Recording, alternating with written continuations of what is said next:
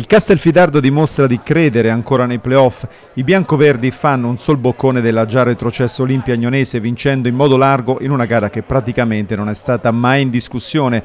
Diverse le motivazioni certo ma anche il differenziale tecnico è apparso subito abissale tra le due compagini. Maurizio Lauro, tecnico dei padroni di casa, propone tra i pali Sprecacea al posto di David con l'Under Monachesi schierato sin dal primo minuto con la maglia numero 10. Niambè almeno inizialmente in panchina. Di Dio, Corcione, Perpepai e Braconi completano la linea offensiva dei padroni di casa. L'intento appare sin da subito abbastanza chiaro, non concedere chance agli avversari e provare a chiudere il conto già nel primo tempo. Così è infatti, con il Castelfidardo che va a riposo addirittura sul 3-0, sostanzialmente un monologo che vede protagonista Perpepai, autore di una tripletta. La prima rete arriva dopo soli 9 minuti e che evidenzia la grande volontà dei biancoverdi.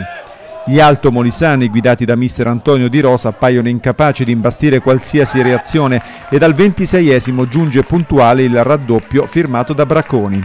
Prima del riposo è ancora per Pepai al 36esimo a farsi trovare pronto con l'appuntamento con il gol.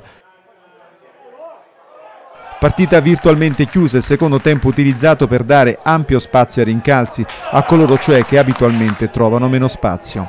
Il poker giunge al quarto d'ora sempre con Perpepai ed a quel punto occhio ai risultati di Matese Pineta e Cinzia Albalonga Tolentino. Il Castelfidardo è ancora in corsa e crederci non costa nulla in vista della chiusura dei giochi nell'ultima giornata sabato prossimo a Fiuggi.